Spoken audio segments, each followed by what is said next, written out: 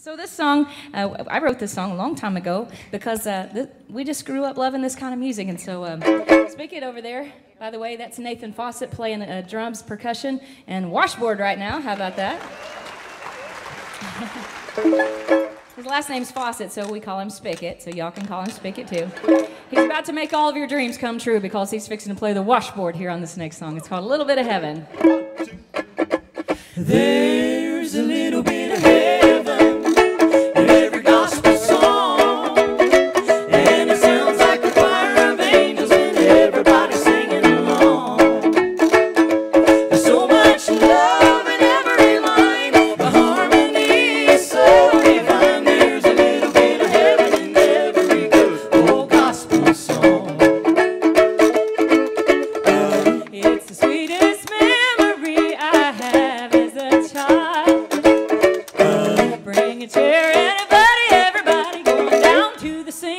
Saturday night, every sing.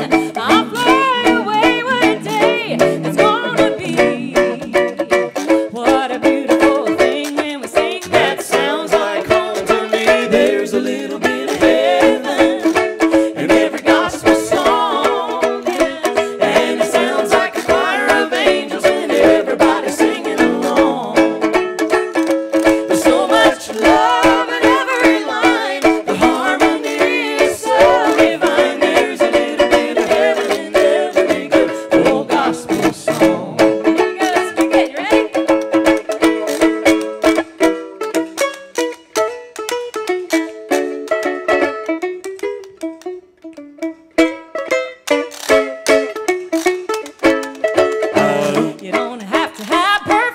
pitch, there's no need to be shy. That's right. Anybody can do it, all you gotta do is break apart, open up, and let her fly. And just think about Jesus' love.